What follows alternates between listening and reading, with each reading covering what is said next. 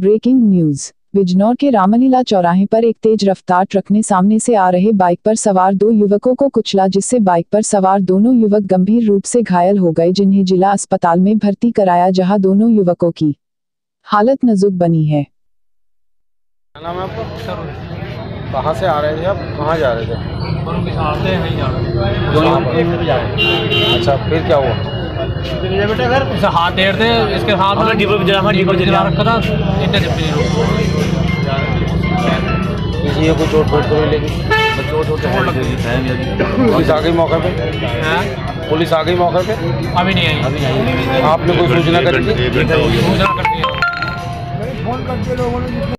आपको भैया कहाँ से आ रहे थे आप? कहाँ जा रहे थे? एक घर से आ रहे थे काम पे जा रहे थे। अच्छा कैसे हुआ है मामला?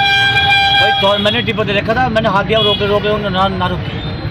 वहाँ पर सामने ठक्की हो कै, क्या बैठे थे? दो थे।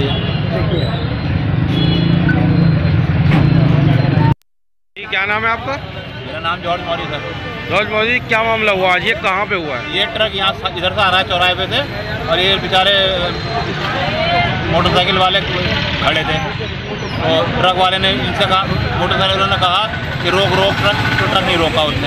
इन्हें घसीटता हुआ ले गया और जब गाड़ी के अंदर ये पहुँच गए ट्रक के अंदर पहुँच गया तो वो छोड़ के ट्रक चलता हुआ छोड़ गया। ट्रक चल- चलता रहा थोड़ी दूर तक। आप क्या मौके में मौजूद थे? मैं उसी जगह था। मैं खड़ा था वहाँ पर। अच्छा गलती किसकी है? गलती ट्रक वाले की है।